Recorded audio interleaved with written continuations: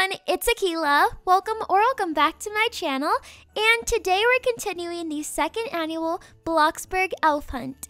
This time we're going to the location of elf number 6. We already found elves 1 through 5. You do have to find them in order. So if you missed those videos, make sure you go and check them out. To find elf number 6, you're going to have to head over to the Bloxburg Cave and the easiest way is to turn into a kid because if you walk into the cave as an adult, it's gonna take your holiday cookie away and then you won't be able to give it to the elf. So let's go down the cave and then we can find the elf right over here. Once you enter the cave, the elf is right over here. I know it's kind of hard to see, but it's basically straight ahead. And then you can give it the holiday cookie.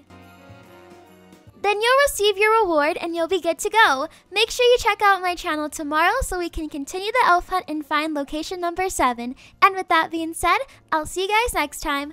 Bye!